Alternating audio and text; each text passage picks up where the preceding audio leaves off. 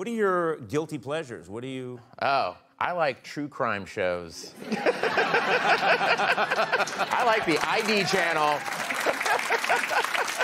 I love, I've talked about this a lot. I, there's a show called Snapped. Does anybody know Snapped? I've heard it's of on Snapped. Oxygen. Yeah. Okay, Snapped is rad. It's about, it's women uh, who kill their husbands usually. And I love it because there's always a part in every show where the narrator goes, and that's when she snapped. and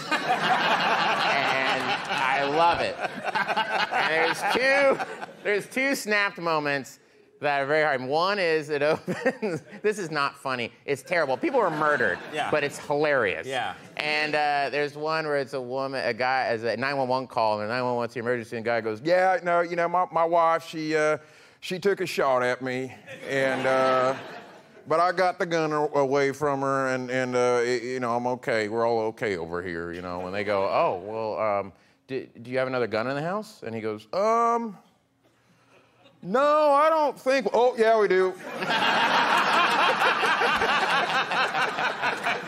He says this on the tape. Yeah. He's like, oh, yeah, we do. Line goes dead. She shot him. I mean, it's not funny.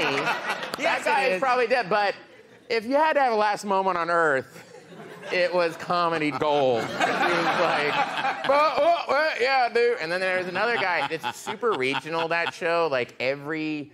Like if it's like a, a it's like a episode takes place in Chicago, everybody has Right, the right. thickest Chicago accent. Everyone's right. like, yeah, my dad was a cap and my mom was a, a cap. Brother was a cap.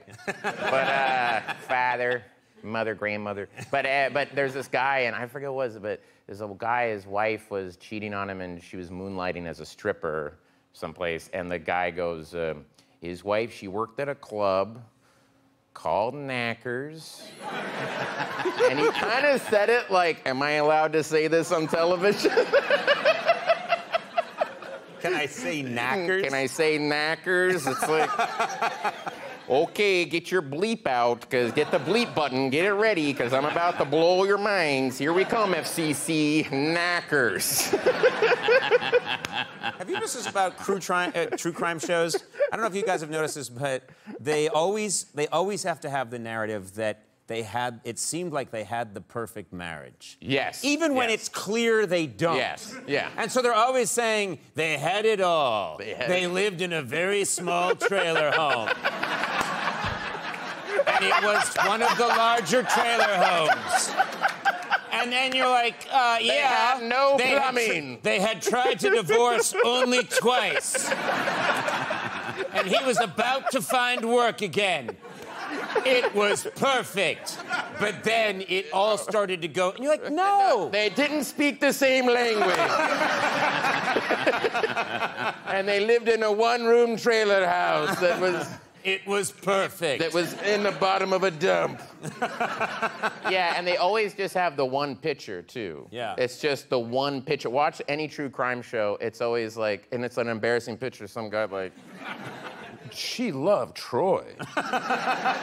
Troy was the looker, and I'm like, you know, Troy's in prison or dead or wherever. Going, come on, I got more pictures of me than that. Come on. I love Snapped so much. All right, let's get the word out on. I love that you're not even. You're here to promote another show. I know HBO's like HBO's like we don't do Snap, dumbass. Hello.